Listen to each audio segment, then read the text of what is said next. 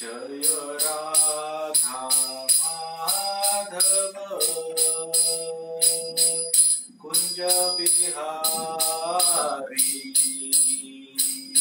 गोपीचन Vallabh.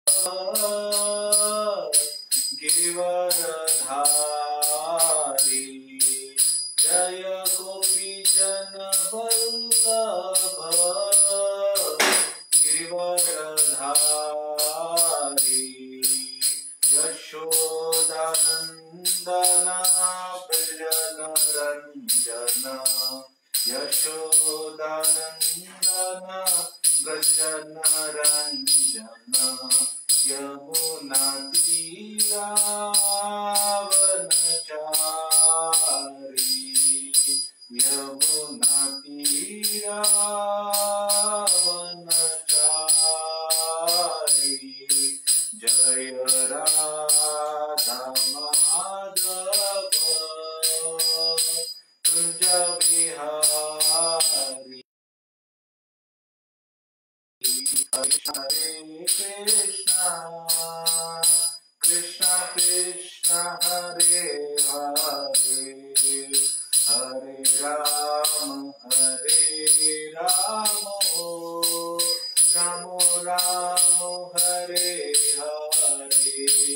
Hare Krishna, Hare Krishna. Krishna Krishna Hare Hare Hare Ram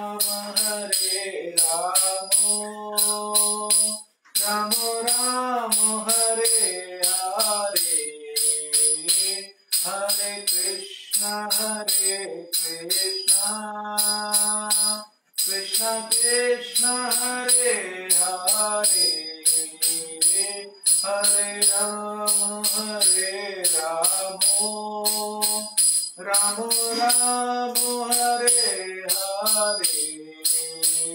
Hare Krishna Hare Krishna. Krishna Krishna Hare Hare. Hare Ramo Hare Ramo.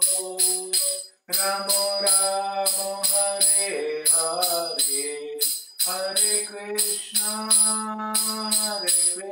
Krishna Krishna Krishna Hare Hare Hare Ram Hare Ram Ram Ram Hare Hare Hare Krishna Hare Krishna Krishna Krishna Hare Hare Hare Ram Hare Ram Ram Ram Hare Hare Jaya Radha Gopinath Radha Gopinath Radhe Jaya Prabhupada Prabhupada Prabhupada Jaya Prabhupada Jaya Jaya Prabhupada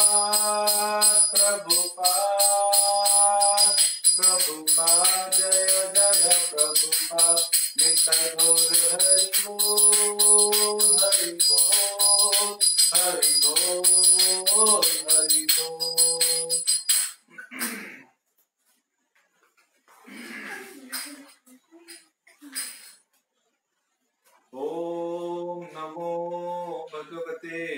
वासुदेवाय। ॐ नमो भगवते वासुदेवाय। ॐ नमो भगवते वासुदेवाय। ॐ अज्ञानतिमिरन्दस्य ज्ञानाञ्जनशलाकया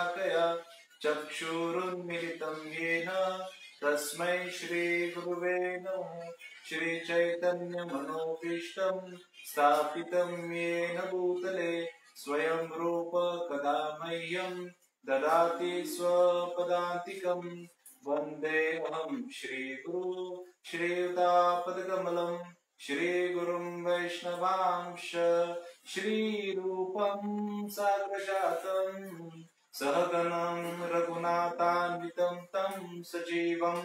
सहगणं रघुनाथान्वितं तं सजीवं साद्वैतं, सावधूतं, परिजनसहितं कृष्णचैतन्यदेवम् श्रीराधा कृष्णपदान्, सहगणललिता, श्रीविशाखान्तांश। नम ॐ विष्णुपदाय कृष्णपृष्ठाय भूतले, श्रीमते भक्तिवेदान्त स्वामीति नामिने। नमस्ते सरस्वती देवे, गौरवाणी प्रचारिणे। निर्विशेष शून्यवादी पाश्चात्य देश तारिणे वाञ्छा कल्पतरुभ्यश्च कृपा सिन्धुभ्येव च पतितानां पावनेभ्यो वैष्णवेभ्यो नमः। जय श्री कृष्ण चैतन्य प्रभु नित्यानंद श्री अद्वैत गदाधर श्रीवासादि गौर भक्त वृंद हरे कृष्णा हरे कृष्णा कृष्णा कृष्णा, हरे हरे। हरे राम हरे राम राम राम, हरे हरे। हरे कृष्णा। तो आप सभी का स्वागत है इस भागवतम क्लास में। तो सभी भक्तों से आशीर्वाद की इच्छा करता हूँ कि भगवान के बारे में हम कुछ कह सके। तो आज आज का श्लोक जो है, वो है सातवां श्लोक, छठे स्कंद में से। श्री शुक उवाच, न चेत इह एव अपचेतं यथा अंसः, कृतस्य कुर्यान्म न उक्त पानिभिः ध्रुवं स वै प्रेत्य नरकानुपैति।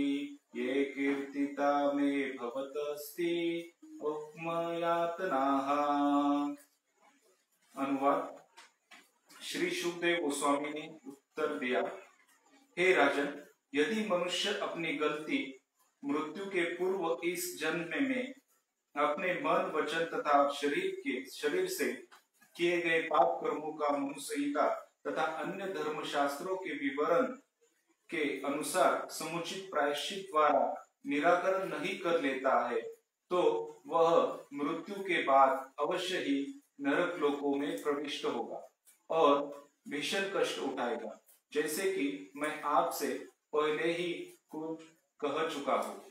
तात्पर्य श्रील प्रभुपाद द्वारा। श्रील विश्वनाथ चक्रवर्ती ठाकुर उल्लेख करते हैं कि यद्यपि महाराज परीक्षित शुद्ध भक्त थे, फिर भी सुखदेव गोस्वामी ने तुरंत ही भक्ति की शक्ति के विषय में उन्हें नहीं बतलाया। जैसा कि भगवत गीता में कहा गया है माम च योगाभिचारेण भक्ति योगे न सेवते, स गुणान समित ब्रह्म भुवयाय कल्पते। भक्ति इतनी प्रबल होती है कि यदि कोई पूरी तरह से कृष्ण की शरण ग्रहण कर ले और पूरी तरह उनकी भक्ति करे तो उसके पाप में जीवन के सारे फल तुरंत समाप्त हो जाते हैं। गीता में गीता में अन्यत्र भगवान कृष्ण मनुष्य को प्रेरित करते हैं। कि अन्य सारे कर्मों को त्याग कर उनकी शरण में आए और वे वचन देते हैं कि अहम तो सर्व पापे मोक्ष इच्छा में मैं तुम्हें सारे पापों के फलों से मुक्त कर दूँगा और तुम्हें मोक्ष प्रदान करूँगा। इसलिए परीक्षित महाराज के प्रश्नों के उत्तर में उनके गुरु सुखदेव महाराज तुरंत ही भक्ति योग की व्याख्या कर सकते थे। किंतु परीक्षित महाराज की बुद्धि की परीक्षा लेने के लिए उन्होंने सर्वप्रथम कर्म कांड के अनुसार प्रायश्चित की संस्कृति की। कर्म कांड के लिए अस्सी प्रामाणिक शास्त्र है। यथा मनु संहिता जो धर्म शास्त्र कहलाते हैं इन शास्त्रों में मनुष्य को अन्य प्रकार के सकाम कर्म करके पाप कर्मों का निवारण कर, करने का परामर्श दिया है। सुखदेव गोस्वामी ने महाराज परीक्षित को सर्वप्रथम इसी मार्ग की संस्तुति करने की सलाह दी है। और यह तथ्य है कि जो व्यक्ति भक्ति स्वीकार नहीं करता, उसे अपवित्र कर्मों के निराकरण के लिए इन शास्त्रों शास्त्रों के निर्णय को मानकर कार्य करना होता है। यही प्रायश्चित कहलाता है।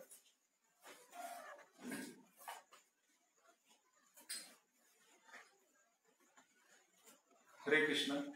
तो आज हम तीन विषय के बारे में चर्चा करेंगे। पहला है कि दुख हमें क्यों आते हैं? दूसरा विषय कि दुख हमें कौन देता है? और फिर दुख से कैसे दूर होंगे? तो हर कोई जीव जो है, वह आनंद चाहता है। वह चीटी से लेके ब्रह्मदेव तक सारे जीव जो है, वह आनंद के आनंद चाहते हैं।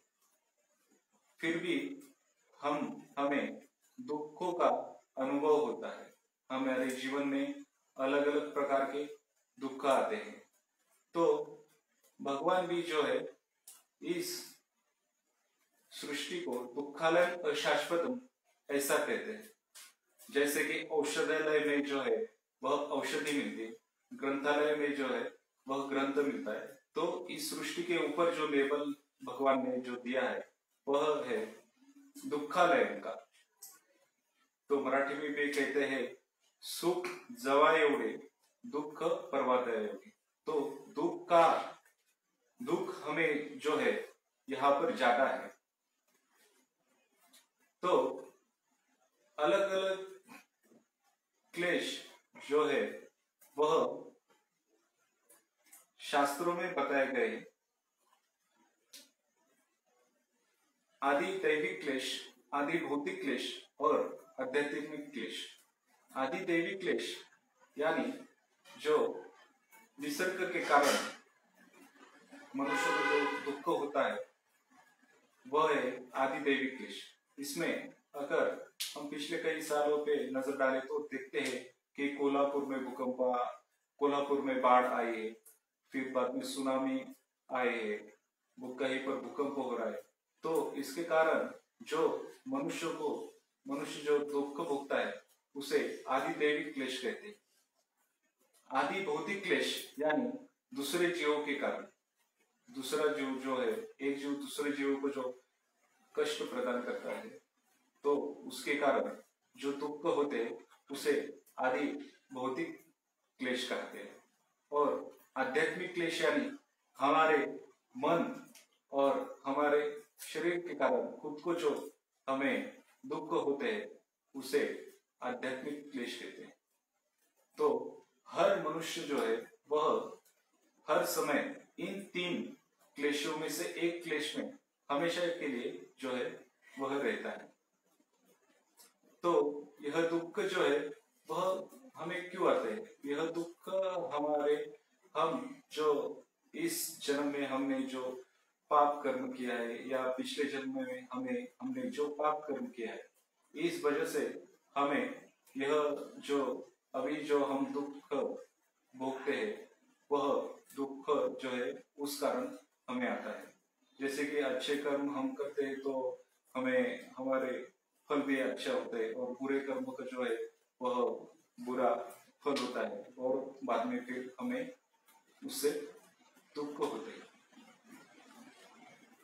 यहाँ पर प्राय तात्पर्य में कहते हैं कि जो कोई काया वाचा और मन इनसे जिन्होंने अलग अलग जो पाप किए हुए।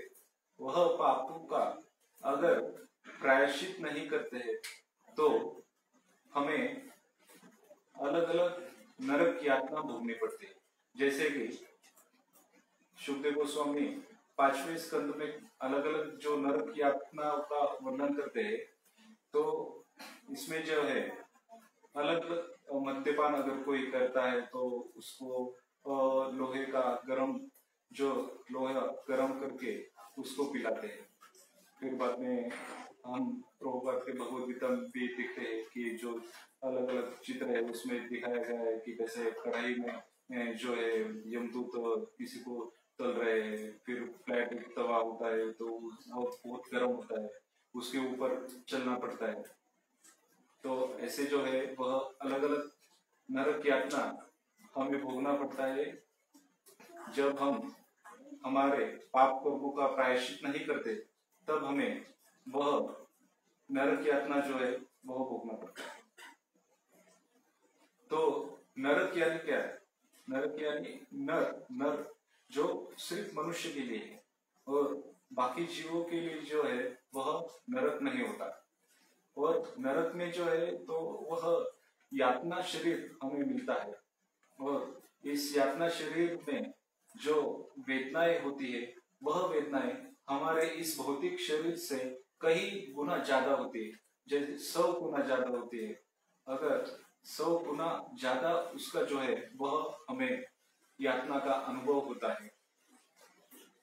तो नरकान, यहाँ पर इस श्लोक में नरकान यह बहुवचन शब्द आता है, जिसका अर्थ है कि अलग अलग नरक तो अलग अलग पाप कर्म हम जो करते हैं उस पाप कर्मों के लिए हमें अलग अलग नरकों में लिया जाता है और वहाँ पर हमें जो है वह यातनाएँ मिलती है। तो कोई कह सकता है कि यह नरक जो है, नरक स्वर्ग है क्या नहीं, यह किसने देखा है? तो हम इसी शरीर में भी इसका मृत्यु से पहले जो है वह यातना का हम अनुभव कर सकते हैं। अगर कोई जो है वह मद्यपान करता है तो उसका लिवर जो है वह खराब होता है। फिर बाद में कोई तंबाकू का सेवन करता है तो उसे कैंसर होता है। सेक्स जो करता है, उसे अलग अलग व्याधियाँ होती है। ऐसे जो है तो वह उसका अनुभव हम करते हैं। तो नरक जो है वह नरक का स्थान भी शास्त्रों में दिया हुआ है।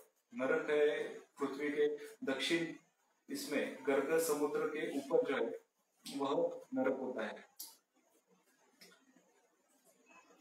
तो सुखदेव गोस्वामी जब नरक का यह वर्णन करते हैं तो परीक्षित महाराज को बहुत उसकी दुख होता है। वह कहते हैं कि फिर वह वैष्णव होने के कारण वह दूसरे को जो होने वाला दुख है, उसके बारे में उसका उससे कैसे बचा जाए, उसके बारे में परीक्षित महाराज परीक्षित महाराज सुखदेव गोस्वामी से उसका उपाय पूछते हैं। तो परीक्षा सुखदेव गोस्वामी, या अलग अलग नरक यातना से बचने के लिए तीन विधि का वर्णन यहाँ पर करते हैं। तीन अलग अलग विधि का वर्णन करते हैं। एक है प्रायश्चित दूसरा है ज्ञान और तीसरा है भक्ति। प्रायश्चित यानी क्या? प्रायश्चित यानी अगर कोई जो है, वह सोने की चैन अगर चुराता है तो उसका प्रायश्चित उसने वह चैन जो है, वह जिससे चुराया है, उसको वापस देना चाहिए। उससे बोलना चाहिए कि यह चैन मैंने चुराया था। और सिर्फ़ वही नहीं तो बहुत सारा जो है बहुत सारा दान उसने देना चाहिए। फिर और बाद में वह फिर से वह जो गलती की थी वह गलती उसने फिर से दोहराना नहीं चाहिए। तो यह जो आ, हमारा जो रिकॉर्ड है वह रिकॉर्ड अलग अलग ऐसा कहते हैं कि बारह जो महान महान आत्मा है वह रखते हैं। बारह साक्षीदार होते हैं हमारे कर्मों के, जिसमें सूर्य है चंद्र है पृथ्वी, वायु, यह सब जो है, वह हमारे हर, हमारे जो एक्टिविटी है, उस एक्टिविटी को वह एक साक्षी रहते हैं। और इसके ऊपर भी है, जो हम, हमारे सबके हृदय में जो बैठे हुए हैं, वह परमात्मा। वह हमारे हर जो हम कर्म करते हैं, वो जो हम सोचते हैं, उसको हम वह एक साक्षी है, बड़े साक्षी है। तो प्रभुपाद कहते हैं कि यदि कोई भक्ति मार्ग में नहीं लगा हुआ तो उसने कम से कम इन प्रायश्चितों का, प्रायश्चित जो है, बताए गए तो उन प्रायश्चित का प्रायश्चित उसने करना चाहिए। तो यहाँ पर तात्पर्य में बताया गया है कि अलग अलग अस्सी ऐसे प्रमाणित शास्त्र है, जिसमें मनु संहिता का भी वर्णन किया गया है। उसमें ऐसा दिया हुआ है कि जो हम पाप कर्म करते हैं, उस पाप कर्मों को फिर से सकाम प्रायश्चित करने के लिए अलग अलग सकाम कर्म क्या करनी चाहिए, वह उस प्रायश्चित में दिया हुआ है। जो पाप हम करते हैं, जितना बड़ा हम पाप करते हैं, उतना ही बड़ा हमें प्रायश्चित करना चाहिए। जैसे कि अगर किसी को फ्लू और फ्लू जैसी छोटी सी कुछ बीमारी होती है तो हम उसे सिर्फ़ टैबलेट वो लेते हैं। लेकिन अगर किसी को कैंसर ऐसे कुछ बड़ी बीमारी होती है तो उसके लिए हम जो ट्रीटमेंट होते हैं, वो बहुत बड़ी होती है। और उसमें पैसा भी जो है, वह बहुत ज़्यादा लगता है। तो जितना बड़ा पाप हम करते हैं तो उतना बड़ा प्रायश्चित वो हमें उससे करना चाहिए। और जितनी जल्दी हो सके, वह प्रायश्चित हमने करना चाहिए। यह पृथ्वी पर भी यह शास्त्र में वर्णन आता है कि दो प्रकार के नरक यह पृथ्वी पर भी है। वो एक है कि हॉस्पिटल और दूसरा है जेल। तो हम सब अनुभव करते हैं कि हॉस्पिटल में जो है, वह कैसे हमें दुख का बहुत बड़ा अनुभव होता है। फिर यह प्रायश्चित जो है, वह एक हाथी के स्नान के समान, ऐसा माना गया है। ऐसा है।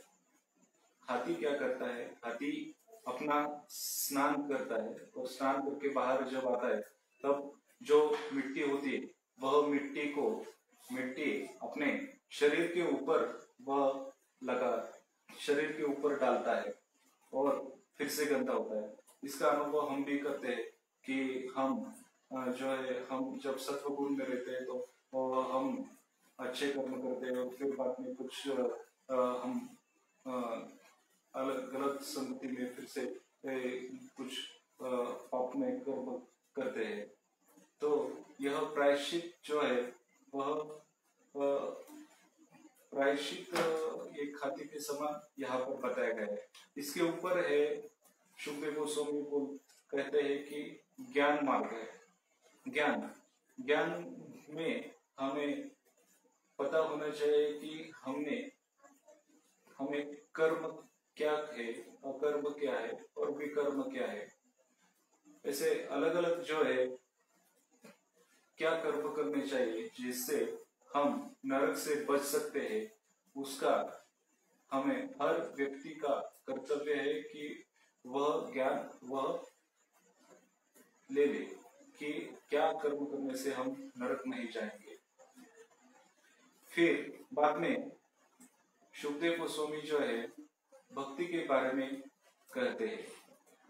तो अगर कोई जो है भगवान की भक्ति करता है तो भगवान की भक्ति करने से उसके जो पाप है वह पाप नष्ट होते हैं।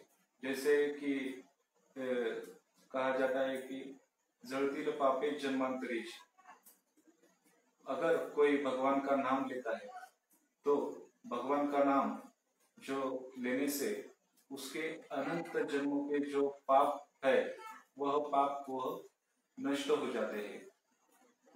कली काली नाम रूपे कृष्ण होता। इस कलयुग में जो है भगवान, एक नाम रूप में यहाँ पर अवतीर्ण हुए हैं। और हमें चाहिए कि इन नाम का, भगवान के नाम का हम आश्रय लें।